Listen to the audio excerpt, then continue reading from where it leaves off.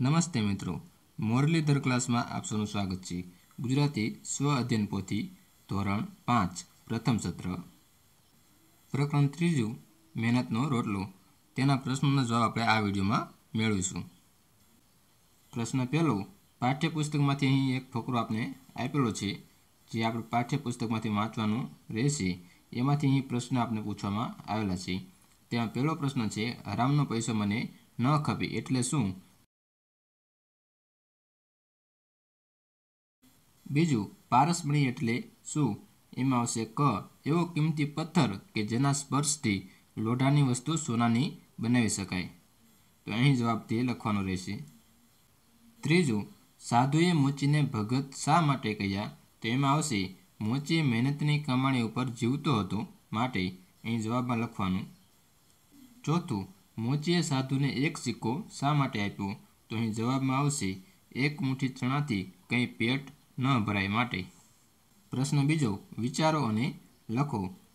તેમાં પહેલું, હવે બીજું કશું જ કહેવાનું બાકી રહેતું નથી. તેમની સામે આવશે ગ કાશી નગરીમાં એક મોચી રહેતો હતો. બીજું, મને તો ખૂબ જ આશ્ચર્ય થયું. તેની સામે આવશે, ઘ, જોયું તો ઓજાર બધા સોનાના. ત્રીજું ઊભા રહો, હજી મારી વાત પૂરી થઈ નથી. તેની સામે આવશે, ક, મારે પરમ દિવસે સાંજે જવું છે, માટે ઢીલ ન થાય. ચોથું, મેં તો પૂછી જ લીધું, તો એની સામે આવશે, ખ, મારા પગના પગરખાનું શું પડે? પ્રશ્ન ત્રણ, આવું કોણ બોલી શકે? સાધુ કે મોચી? તે આપણે અહીં લખવાનું રહેશે. તો પહેલું વાક્ય છે, તમે ઓર્ડર આપશો તો હું ફટાફટ બનાવી આપીશ. આવું કોણ બોલે? તો કે મોચી. બીજું, પગરખા સીવડાવવા જઈએ તો ભાવતાલ તો કરવાનો જ હોય ને? આવું કોણ બોલે? તો કે સાધુ. ત્રીજું, એક જ ભાવ. આપણે ગમે ત્યારે દુકાને જઈએ ત્યારે કે ને, એક જ ભાવ. તો કે મોચી. ચોથું, ઉધાર માંગી મને શરમમાં નાખશો નહીં. તેની સામે આવશે મોચી. આવું મોચી બોલે. પાંચમું, લો આવું સુંદર મજાનું કામ કર્યા બદલ મારા તરફથી તમને બક્ષિસ, મોજ કરું. તો કે સાધુ બોલે. છઠ્ઠું, આ મહાનુભાવે તો મારા બધા સાધનો બગાડી નાખ્યા. મોચી બોલે. સાતમું, તમારી વાત સાચી છે. આપને મહેનત કરીને જ ખાવું જોઈએ. સાધુ બોલે છે. પ્રશ્ન ચાર, વાક્યોને વાર્તાના ક્રમમાં ગોઠવો. પહેલું, નાનકડા નગરમાં એક પ્રામાણિક મોચી રહેતો. બીજું, સાધુએ દોઢ રૂપિયામાં પગરખા સીવડાવવાનું નક્કી કર્યું. ત્રીજું, પગરખા સીવવા માટે કેટલું થયું છે? એ જોવા સાધુ બે ત્રણ દિવસ ધક્કો ખાય છે. તે અને ચોથું, મોચે સીવેલા પગરખા આપ્યા.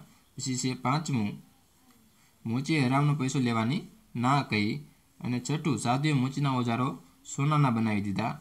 સાતમું મોચી પોતાના હાથપગથી મહેનત કરીને જ ખાવા માનતો અને આઠમું છે સાધુએ મોચીને પોતાના ગુરુ બનાવ્યા. પ્રશ્ન પાંચ, પ્રશ્નનો જવાબ લખો. પહેલું, કોઈ સાધુ આવીને તમારા પેન્સિલ, રબર, સંચો, દફતર, પુસ્તકો બધું સોનાનું કરી દે તો તમે શું કરો? હું તે સાધુને કહું, આ વસ્તુ મને કોઈ કામની નથી. કારણ કે તે વસ્તુ ભલે સોનાની હોય, પરંતુ મારા સ્વાભિમાન સામે તેની કોઈ જ કિંમત નથી. હું મહેનતનું લઈશ હરામનું નહીં. આમ તે દરેક સોનાની વસ્તુ સાધુને આપી દઈશ. પ્રશ્ન બીજો, તમને ક્યાંકથી પારસમણી મળી જાય તો તમે તેનો શું ઉપયોગ કરો? જવાબ, હું તે પારસમણી મારી પાસે ન રાખતા દેશના કલ્યાણ માટે દેશને આપી દઉં, જેથી દરેક પ્રજાનું સારું થાય અને આપણે ભારત દેશ સમૃદ્ધ થાય અને દરેક ક્ષેત્રમાં તે આગળ વધે. પ્રશ્ન છ, ઉદાહરણ મુજબ વિકલ્પોમાંથી સમાન અર્થ ધરાવતો વાક્ય શોધી અને લખો. ઉદાહરણ છે, સાધુએ પગ ઉપાડ્યા તો જવાબ આવ્યો સાધુ ઝડપથી ચાલતા થયા. બીજું, મોચીએ બાવળાના બળથી નવા ઓજાર લીધા. તો જવાબ આવશે, મોચીએ મહેનતની કમાણીથી નવા ઓજાર ખરીદ્યા. ત્રીજું, મોચી બેઠા બેઠા ખાવામાં માનતા નહોતા. મોચી મહેનત કરીને જ ખાવામાં માનતો હતો. ચોથું, મોચીએ ઓજાર ખૂણામાં નાખી દીધા. તેમાં આવશે, મોચીએ ગુસ્સે થઈને ઓજારો બાજુના ખૂણામાં ફેંકી દીધા. પ્રશ્ન સાત. ઉદાહરણ મુજબ બંને શબ્દોનો ઉપયોગ કરીને વાક્ય બનાવો. અહીં આપણે બે શબ્દ આપેલા છે, તે બંને શબ્દોનો ઉપયોગ કરી અને વાક્ય બનાવવાનું. આપણે જો એક ઉદાહરણ આપેલું છે, પ્રામાણિક દુકાનદારે વધારાના પૈસા લેવાની ના કહી. અહીં જો પૈસા પણ આવી ગયા અને અહીં પ્રામાણિક પણ આવી ગયું. બીજું છે, અહીં મોચી અને પગરખા. તેમાં આવશે, મોચીએ પગરખા સીવીને સાધુને આપ્યા.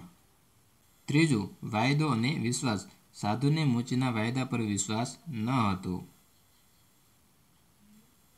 ચોથું, અહીં સાધુ અને પારસમણી આપેલ છે. તો કે સાધુએ મોચીના ઓજાર પારસમણીથી સોનાના બનાવ્યા.